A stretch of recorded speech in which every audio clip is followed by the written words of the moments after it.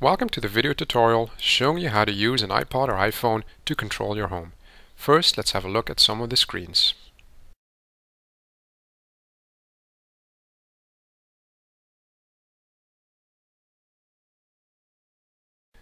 The dim setting can be fully controlled from your iPod.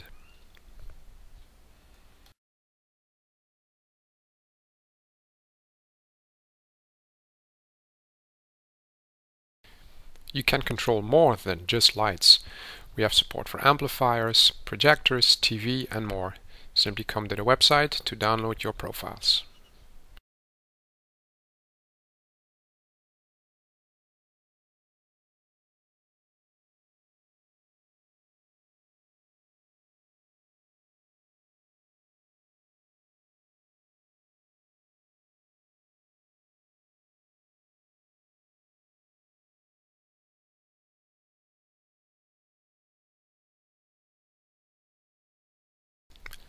Not only can we control devices, but we can also show information like weather.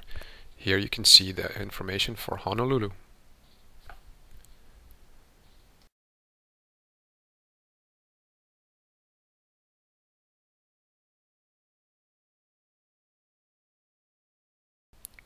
Security systems are integrated as well.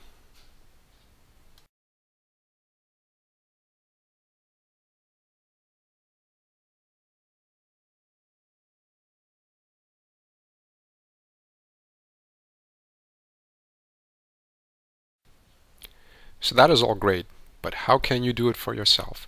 Here is a quick tutorial showing you how to set a system up like this. First plug the PLC into the wall and connect it to the computer with a USB cable. This device sends the control codes over the power line to control the lights.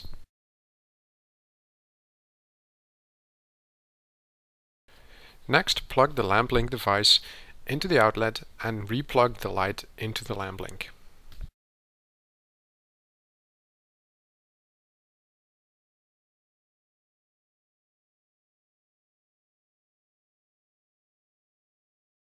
We now have to take care of a little bit of software setup.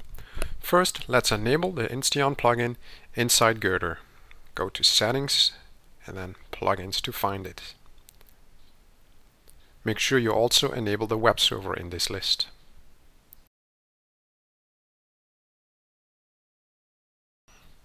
The next step is to link the PLC to the lamp link so that they can talk to each other. This can be easily done from the interface in the following method. Go to the Component Manager, find the Insteon pages, and go to the Device Manager tab. Click on the Start Link Mode button. You will now see the PLC starting to flash. Go to the lamp link and press and hold the button for 3 seconds until the light flashes.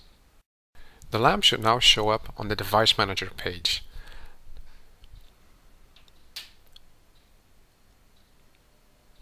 Look at the Device ID dropdown and find your light. In this case it already exists, but you can add it if you need to. Now let's give the lamp a name. The location can be split with backslashes. And that is all there is to it. Now use your iPod or iPhone to navigate to the IP address of the computer that Girder is running on forward slash iPhone to access these device manager pages. Thanks for watching, I hope you enjoyed the video. As always, drop by the forums to give your comments or questions, we will be glad to help out.